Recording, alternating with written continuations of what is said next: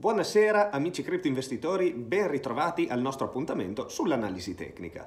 Oggi andiamo a studiare un altro indicatore molto più veloce di tutti quelli che abbiamo visto finora, infatti molti lo utilizzano per operazioni molto a breve.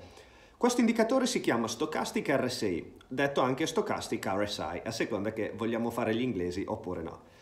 Questo non è un vero e proprio indicatore in senso stretto, perché è più un indicatore su un indicatore. Infatti la parola è composta e indica che applico l'indicatore stochastic, che fa una cosa, sull'indicatore RSI che ne fa un'altra e che dovremmo ormai conoscere tutti quanti molto bene, dato che lo applichiamo pressoché in tutte le analisi che facciamo essendo un indicatore composito, ci fornisce una derivata seconda del prezzo e questo lo allontana ancora di più dal prezzo stesso, quindi non è eh, così facile da utilizzare da solo in quanto potrebbe fornire tantissimi falsi positivi proprio a causa della sua velocità nei confronti del prezzo. È un indicatore molto veloce che tende a variare in maniera molto eh, spezzata, molto volatile e per questo va utilizzato assieme a tutto un corredo di condizioni al contorno e di analisi che occorre fare per filtrare proprio questi falsi positivi che altrimenti ci sovrasterebbero.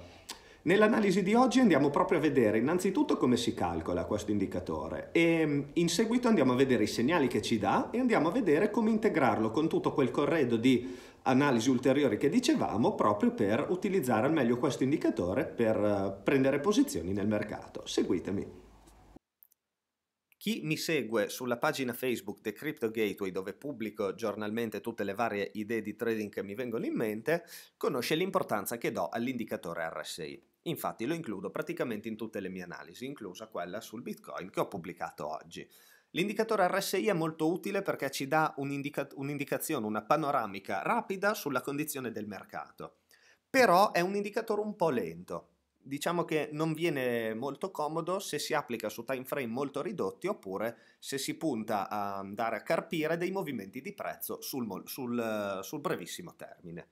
Qui è dove sopperisce lo Stochastic RSI, che è un indicatore che ha come scopo proprio andare a cogliere i movimenti impulsivi, insomma le, i movimenti rapidi, li coglie subito ancora prima che accadano a volte.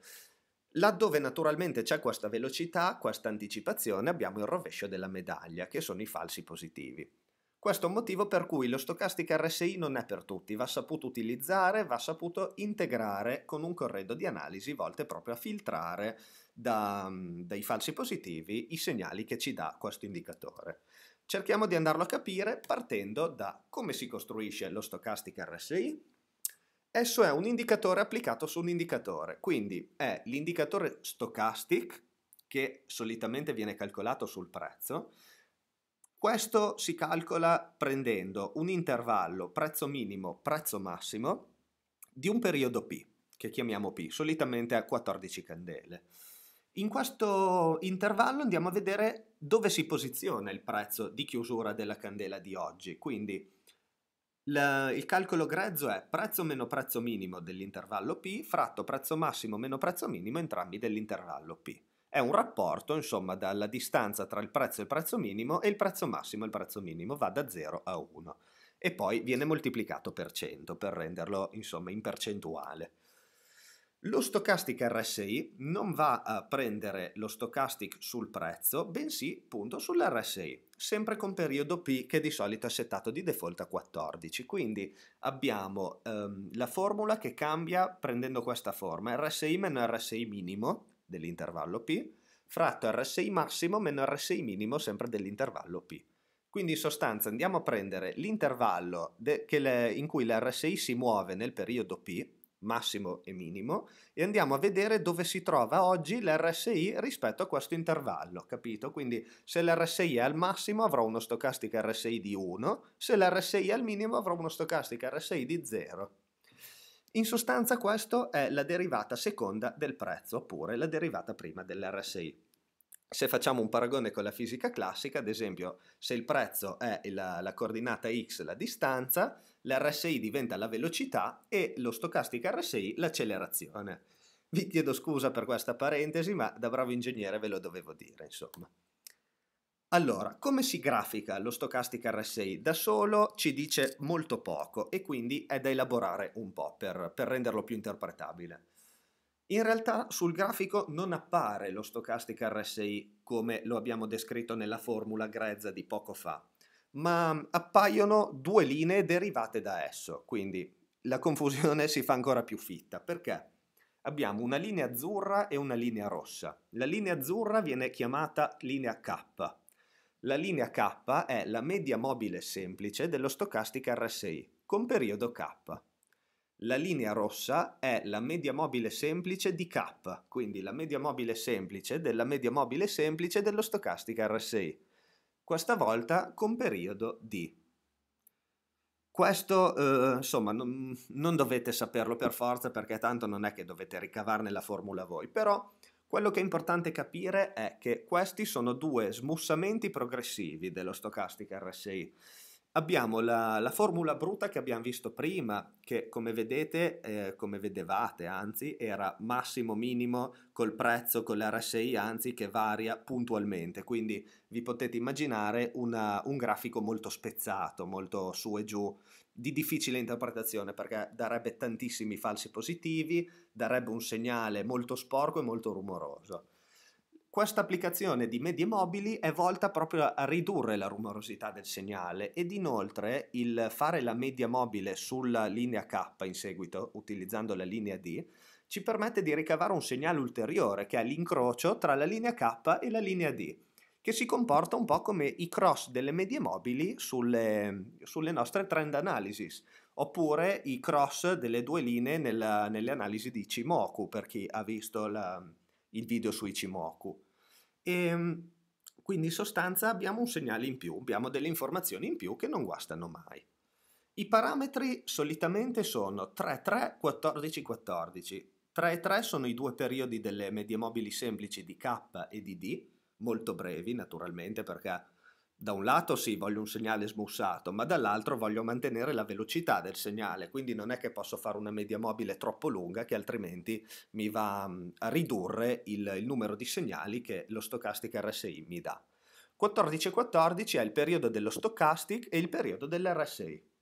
Quindi lo Stochastic prende i massimi e i minimi di 14 candele e l'RSI è, è calcolato su un intervallo 14. Ora passiamo ai segnali, la parte, il cuore insomma di, di questo indicatore, i segnali che ci dà, la parte che ci interessa. L'indicatore è molto veloce, fornisce una marea di falsi positivi, repetita Juvent insomma. Non è utilizzabile da solo, ma va integrato con analisi di trend e analisi di volume. Analisi di trend perché? Perché lo Stochastic RSI non ci riesce a dare informazioni sul trend ci potrebbe dare informazioni sulla forza del trend, come vedremo eh, nelle prossime slide, però non sulla direzione del trend, quindi per quello serve un'analisi classica su trendline, supporti e resistenze, o anche medie mobili che come sempre vengono utili. Analisi di volume perché il volume naturalmente è un dato a sé stante perpendicolare a tutto il resto.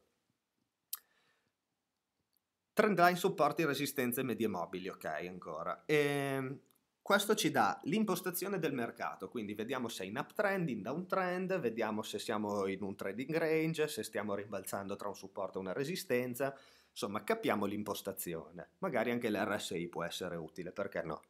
E in seguito, una volta che abbiamo capito l'impostazione, cosa ci dà in più lo Stochastic RSI? Ci dice qual è l'entry point ottimale, quindi ci dà quell'informazione in più dettagliata. Questo si configura molto bene per i trade che hanno un orizzonte temporale breve, perché ci dà proprio l'entry point ideale in cui acquistare e poi usciamo, insomma, a seconda dei nostri target per poi rientrare magari all'entry point successivo. Quindi ci fa magari anche cavalcare un uptrend con le sue varie flessioni, ci aiuta a sfruttare meglio le, varie gambine rialziste dell'uptrend, andando a zoomare su, su candele più, più dettagliate. Un'altra cosa che è interessante è andare a tarare eh, KD, i periodi di KD o meglio, in base allo storico della coin. Cosa significa? Significa, vi ricordate cosa sono KD? Sono i periodi delle medie mobili semplici cui andiamo, con cui andiamo a smussare lo stochastic RSI. Quindi maggiori sono KD, minori saranno il numero di cross tra queste due linee, minore sarà la, la, il rumore del segnale però minori saranno i numeri di segnali che ci danno, di conseguenza. Questo quindi può essere utile in particolare sulle coin più volatili, perché magari sto studiando un altcoin che già di suo è volatile. Se poi ci vado ad applicare lo Stochastic RSI divento pazzo perché mi dà 100.000 segnali di incroci e non capisco più niente. Quindi magari andare a provare a mettere KD 4, 5, 6 anziché 3 potrebbe andare insomma ad aiutarmi a ottimizzare meglio le mie posizioni. Continuiamo con i segnali. Allora, ehm, il segnale classico è la, in condizione di uptrend il cross della linea K con la linea D. Quindi la linea K, che è quella più breve, meno quella mediata una volta sola, incrocia al rialzo la linea D, che è quella mediata due volte, quindi quella un po' più lenta, in fase di ipervenduto, quindi sotto al livello 20 di Stochastic RSI questo ci dà un segnale di acquisto perché il prezzo potrebbe avere a breve un aumento. Quindi io acquisto lì, mi pongo come target, che ne so, il 3-4% e poi vendo. Altra possibilità, il breakout da un pattern confermato da volume, che quello già di per sé è un segnale di ingresso. In questo caso come ci aiuta lo Stochastic RSI? Se fa un bel cross anche qui in ipervenduto in zona bassa, cioè inferiore a 50, abbiamo un segnale di conferma in più, che insomma sappiamo che non guasta in un mondo di probabilità. Ripetuti picchi in area di ipervenduto sempre più alti durante un downtrend indicano che potremmo essere in fase terminale del downtrend, quindi il downtrend si sta indebolendo. Segnale interessante perché se magari lo congiungo, come dicevamo prima, con una trend line discendente che segue questo, questo downtrend piuttosto che con la sua media mobile a 9 a 30, possiamo utilizzare come segnale trigger, diciamo, il cross del prezzo con la media mobile piuttosto che con la trend line e eh, ricavando quel segnale dal fatto che prima vedevo i miei picchi ripetuti sempre più alti, che vedevo che il downtrend era in fase di indebolimento.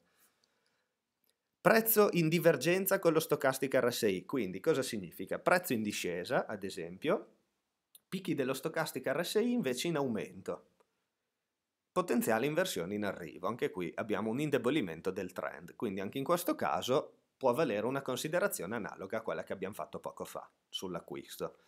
Valgono naturalmente anche le condizioni inverse, a volte infatti lo stochastic RSI viene utilizzato da chi vuole shortare. Ad esempio, prendiamo il segnale classico e invertiamolo, condizione di downtrend, quindi siamo in calo la linea K incrocia la linea D in fase di ipercomprato, quindi il prezzo calerà di nuovo, parte il, il nuovo movimento ribassista del downtrend e quindi è un punto di ingresso per uno short eh, che può essere potenzialmente utile. Ecco. Altri segnali, segnali sulla forza del trend. Come vi dicevo, non ci dice dove va il trend, ma ci dice con che intensità ci va. Ripetuti cross della linea K con la linea D in ipercomprato indicano segnali di elevata forza del trend, rialzista naturalmente in questo caso, ribassista se fosse l'inverso. Anche qui io qua ho fatto gli, gli esempi per il trend rialzista, ma vale l'esatto opposto, specularmente. Ripetuti picchi in ipercomprato senza mai ritornare in ipervenduto danno un'idea di, di forza del trend picchi minimi sempre più alti, non in ipervenduto, e i massimi in ipercomprato. Quindi immaginatevi una sorta di, una sorta di triangolo rettangolo crescente, dove abbiamo i picchi, il, il, lato, il cateto lungo superiore sempre in ipercomprato, il, l'ipotenusa invece che parte dall'ipervenduto magari e sale, sale, sale, congiungendo i picchi sempre più alti. Questo dà la forza del trend in rialzo, in ribasso come vi dicevo è l'opposto.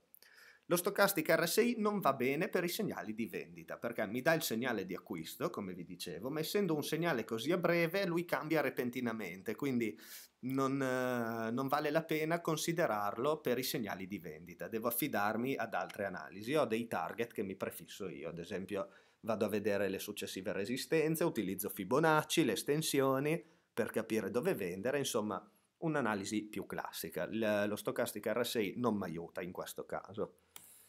Andiamo a vedere un esempio di buon uso dello Stochastic RSI per chiudere il cerchio, insomma andiamo a vedere l'applicazione pratica. Ho cerchiato questo punto e ho cerchiato questo punto sullo Stochastic RSI. Cerchiamo di capire il perché.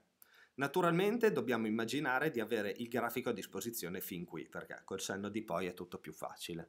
Siamo qui, cosa succede? Succede che siamo in una fase di uptrend, come vedete, sono candele da 4 ore, quindi neanche tanto a breve, però siamo in uptrend con prezzo che fa massimi e minimi progressivamente più alti. Classica situazione di uptrend. Qua potrebbe essere una correzione ABC per chi conosce le onde di Elliott e comunque appunto un piccolo ritracciamento prima di un eventuale altro movimento rialzista che poi c'è stato, però qua non lo sapevamo. Però sapevamo che siamo, stiamo testando un supporto di 6.500 euro che vedete ha funzionato qui, ha funzionato qui, quindi è un supporto importante. Qua fatto da resistenza, e quindi insomma è una barriera di prezzo. Cosa si aggiunge a questo? Si aggiunge il fatto che abbiamo il cross dello Stochastic RSI in zona di ipervenduto, a rialzo, vedete la linea K azzurra, incrocia la linea rossa, la linea D, e quindi questo è un segnale di ingresso. Segnale di vendita, vedete, non va bene questo qui, che è il segnale inverso, perché, oddio, qua magari sì se poi uno rientrava qui, però, mh, mm, insomma, è facile solo a dirsi. Però uno magari vuole cogliere tutto questo movimento, quindi potrebbe val- valer la pena eh, utilizzare un'analisi tecnica più classica, insomma, disegnare la trend line, vedere un po' dove gli obiettivi target di prezzo, qui avevamo il pattern testa e spalle invertito, insomma, un'analisi tecnica più classica. E ehm, questo è quanto per ciò che riguarda lo Stochastic RSI. Direi che è già troppo perché è un indicatore complesso che bisogna metabolizzarlo bene, però vale la pena sperimentare su di esso perché ci aiuta soprattutto se siamo quei trader che hanno voglia di fare tante tante operazioni. Quindi mi raccomando, testatelo, testate, tarate magari i valori, vedete qui è sempre 3-3 ma magari taratelo, applicatelo, fate backtesting alla grande, non stufatevi mai di farlo e poi, perché no, potrebbe diventare uno dei vostri indicatori preferiti. Ragazzi, buona serata a tutti.